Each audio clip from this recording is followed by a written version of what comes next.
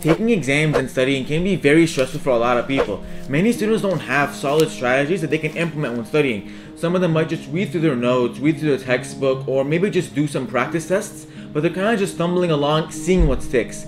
But if you have a solid method, you'd be a lot less stressed during the exam season. And over my last 5 years of engineering, I've learned and developed one skill in particular to help me become less stressed during my exam season and do better on my exams overall, and that skill would be to create a cheat sheet. We do not cheat in this class. No, not that kind of cheat sheet. In this video, I'll explain why cheat sheets are so useful, what they really are, and how you can actually make one that will work for you and help you do well in your exam. I'll also make sure to show you my actual cheat sheets that I use in school. But before I do, if you're new here, my name is Tamer and I'm a final year mechanical engineering student at the University of Waterloo. Alright, let's get into the video. Plain and simple, to make a cheat sheet, you take a blank piece of paper and you fill it in with as much information as you can from the stuff you learn in your courses. Now, some professors do allow you to bring your cheat sheet with you to the exam, but some don't. It's almost 50-50. But whether or not your teacher allows you to take the cheat sheet with you to the exam, you should always make one. Most people think that they should fill this empty white piece of paper with as much information as possible until there's no more white space left but that's not exactly how you should do it. I've seen people literally print every single PowerPoint slide on this white piece of paper and bring it with them to the exam. I've even seen people write so small in so many different angles until there's no more white space left. Both of those methods are terrible ways to make a cheat sheet because the cheat sheet is supposed to be easy to read and simple to understand. So if you're writing it in a way and you can barely understand it, then there's no point of it. You're never going to even use it on the exam. It took me 5 years of engineering to finally figure out why it's so hard. Like I've always known it's hard, but I could never pinpoint why until now. So here's why. In engineering, we learn so many concepts. Some of them are pretty abstract and confusing at first. Like one day we're learning about Newton's third law, then we're learning about Navier-Stokes equations, then partial differential equations, then planetary gear systems, and stress strain curves, and DC shunt machines, followed by magnetic flux density and Laplace transforms. And oh, let's not forget about flip-flops and computational logic. Oh, sorry. I kind of went on a rant there, but I guess I just have a little bit of PTSD. Anyways, the point I'm trying to make here is that when we study engineering, we learn so many concepts that initially don't make sense. But once we take a step back, look at everything that was taught separately, and then we try to connect them, things start to make a little bit of sense. Think about it like this, studying engineering is literally like building a puzzle. Now alone, this one puzzle piece doesn't mean anything. You can look at it all you want, but you're not going to be able to understand what the picture is trying to tell you. It's not until you take all the puzzle pieces, put them together that you begin to understand what that one piece among all the others were actually trying to show you.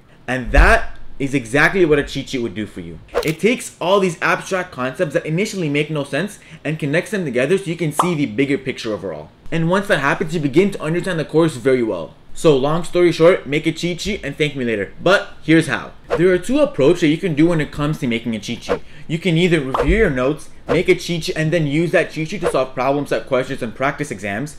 Or you can review your notes, do a ton of problem set questions and practice exams, then make your cheat sheet.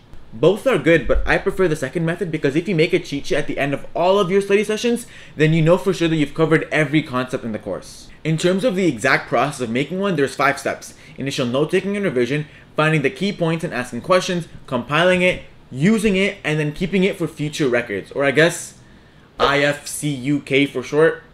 Wait, that, that doesn't sound right. Oh, that almost sounded badly, you know, if you switch that.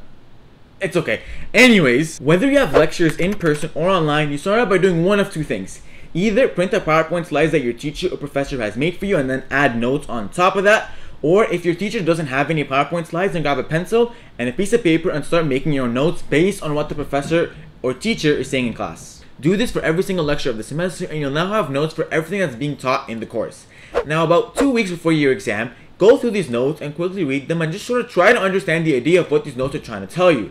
And if you don't understand them yet, that's completely normal, this is only the first step. For reference, here's an example of what my initial notes look like. These were notes that I took in class during my introductory mechanical design lecture. Now with these notes, I'll title them based on the chapter in the textbook that it correlates to. I'll also add a date for each lecture so I keep everything in order.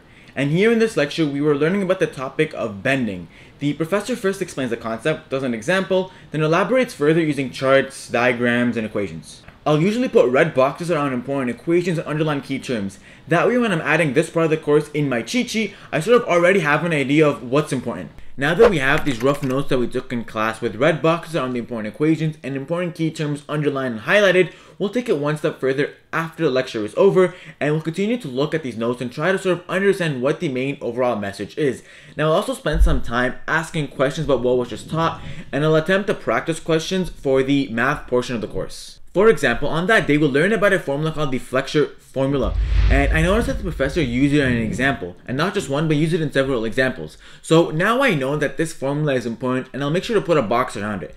That way I know to add it in my cheat sheet later on when I create it. Now let's fast forward a little bit. It's about two weeks before your exam, and the first thing you have to do is grab a rough piece of paper and go through all your notes from that course. Then put in all the important equations and key terms that you've used a lot in the past, and repeat this process for every single lecture you have in that course. Now take this rough piece of paper and use it while you're doing practice questions, problem sets, and practice exams. For example, while I'm doing this problem set, I'll have a piece of paper right next to me so I can quickly refer to it you know, when I need to go back and check important concepts or important equations instead of having to dig through my notes. Also, while I'm doing the problem set or practice exams, if I come across any new concept, I'll make sure to add that in my rough sort of piece of paper on the side. This rough piece of paper might be more than one page and might have, you know, random things all over the place, so the next step would be to take this rough piece of paper and compile it into one page. If you have a look at my cheat sheet from my mechanical design course, here are some examples of how I condense my lectures.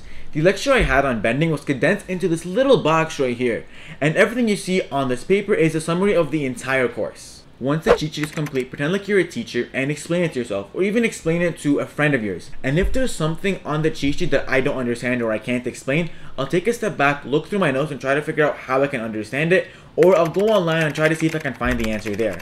But the main idea and the main purpose behind doing this is to be able to master every single concept of the course. Also, because mainly engineering courses tend to be very mathy and numbers based, I'll use this cheat sheet while I solve practice tests or final practice exams but I only do this if the professor allows me to bring the cheat sheet with me to the exam. That way, when I go to the exam, I know exactly where everything is because I've had practice using this cheat sheet. The last thing I want is to waste time on the exam trying to find where a particular equation is. Now, you should have a pretty good cheat sheet and you should have mastered a lot of concepts in the course. So take care of yourself, don't stress about the exam because you did everything that you can.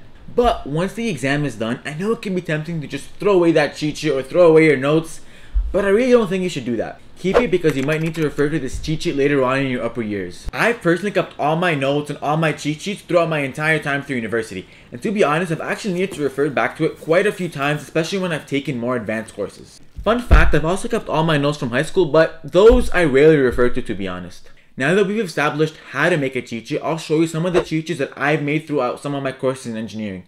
Now, I don't have all my cheat sheets because some professors do ask us to give them the cheat sheet back after the exam is over.